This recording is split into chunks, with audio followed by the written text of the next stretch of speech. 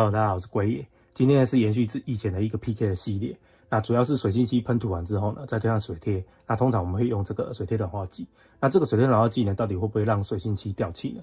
那之前我们做过了，包含这个 AV 的七三二一二，好，俊士的，然后田工的一田工的一般八七一零二，然后强八七一三五，超级强八七二零五，哦，还有这个 Michael Skate 来涂在这个 AK 俊士 H 系列九二七 Airbeast AV 这些漆上面。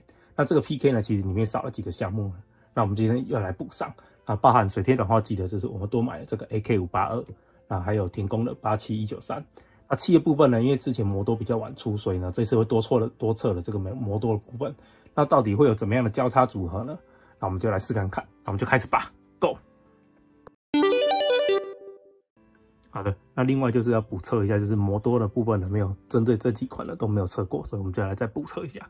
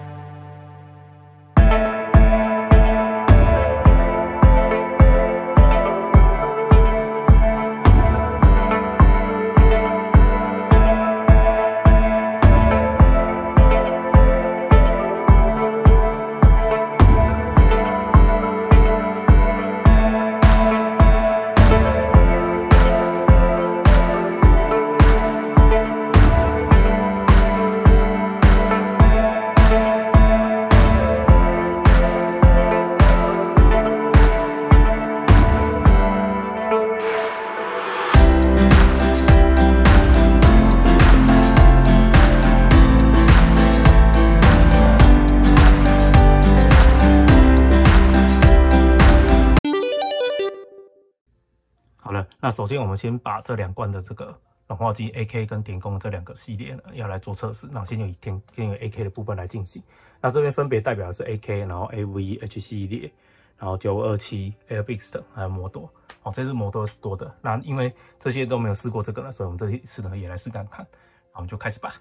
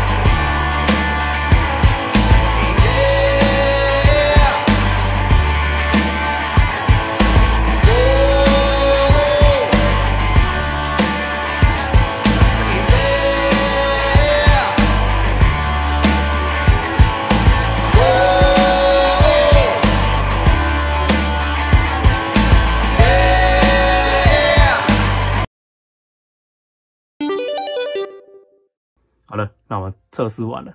那这次呢，其实我觉得得了得到不错的结果。那我们这一次呢，多测了磨多了漆，哦，要来扛扛这些。那另外呢，就是我们多了这个 AK 五八二还有天工八七一九三的部分。那我们直接上表来看。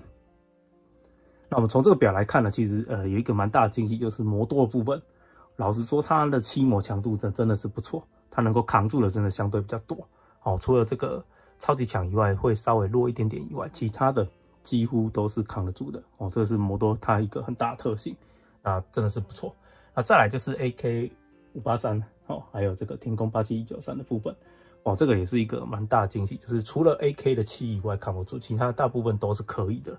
那也就是说这两款会是一个不错的选择，尤其这个天空的八七九三，因为它还有带有胶，也就是就是里面还有胶的部分，所以呢，它是同时有软化剂有脚本，所以说所以也是一个不错的选择，大概会是这样。所以我们在喷涂这个这个水性漆的部分呢，如果你在选择你的水贴软化剂的部分啊，这张表呢就可以供供你做参考了。好了，那我们今天测试就到这边了。如果你喜欢我的影片的话，记得帮我按赞一下。那我们就下次再见了，拜拜。